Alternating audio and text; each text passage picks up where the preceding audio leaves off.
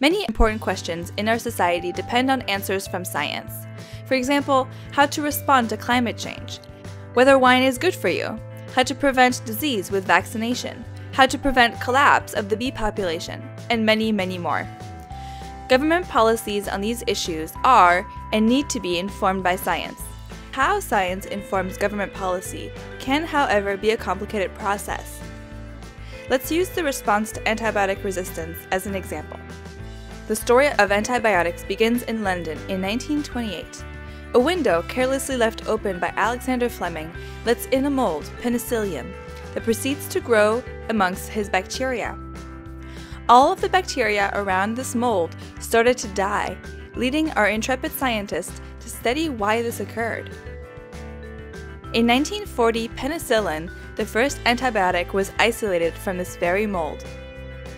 The discovery of penicillin revolutionized medicine. Antibiotics were initially able to treat nearly all bacterial infections. They were a miracle cure. As a result, antibiotics have saved countless lives. Over time, antibiotics were co opted for many other purposes, and now they are used everywhere, including in farming, plastic toys, toothpaste, hand soap, and even toilet handles. Around the same time as penicillin was isolated, scientists had their first encounter with antibiotic resistance.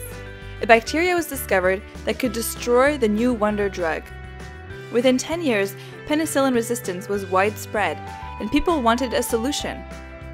It seemed the best way to counter antibiotic resistance was to develop new antibiotics, and so a second round of antibiotics were developed. Neomycin, ampicillin, erythromycin, all great drugs, but they weren't always effective for long resistance developed rapidly. Indeed, resistance to erythromycin appeared so rapidly in Boston hospitals that this new drug had to be abandoned less than a year after it was introduced. While development of new antibiotics sounds like a great way to win the fight against infectious bacteria, it's becoming harder and harder to develop new antibiotics, and we just cannot keep up with the spread of resistance so we need to know more about how antibiotic resistance occurs. Scientists have been researching this very question.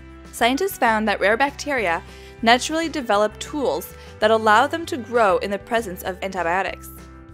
With increasing antibiotic use, these rare, resistant bacteria outgrow bacteria killed by antibiotics, making antibiotic resistance more and more common. But how this resistance spread surprised everyone scientists discovered that the genes causing antibiotic resistance can be transferred from one bacteria to another, and some genes can even confer resistance to multiple antibiotics. Understanding that the more bacteria are exposed to antibiotics, the faster they develop resistance, helped scientists recommend limiting the use of antibiotics when possible to prevent this. However, antibiotics are still widely used with very little oversight, and today, antibiotic resistance is everywhere. If something isn't done, we risk turning the clock back to the pre antibiotic era when simple infections could kill you. But what to do? There are several possible solutions, informed by what we have learned so far about the science of antibiotic resistance. We can keep trying to develop more antibiotics reduce their use in non-essential areas like promotion of animal growth and farming, improve how the spread of antibiotics is monitored to improve responses. Finally, use combinations of antibiotics to treat people with resistant infections to make it less likely bacteria will survive to spread their resistance genes. Many of these solutions are being tested around the world, but none will solve the problem in isolation. Instead, a combination of policies will likely be needed. Importantly, future research will be necessary to evaluate how effective these policies will be. This evaluation will then help inform the next round of policy decisions in the fight against antibiotic resistance.